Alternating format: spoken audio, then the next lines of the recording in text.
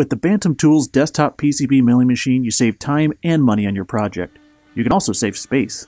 Fit complex designs in a smaller package by milling double-sided PCBs.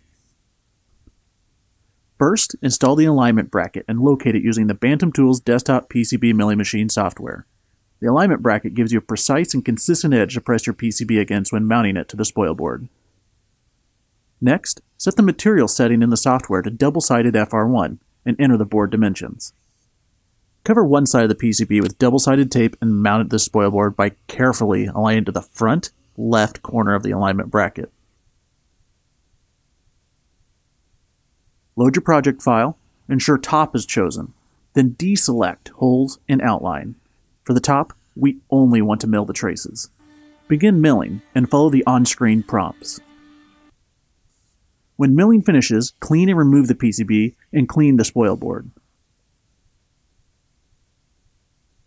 This time, apply double-sided tape to the side of the PCB that was just milled and align the PCB to the front right of the alignment bracket when mounting.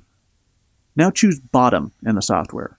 This time, enable holes and outline in addition to traces.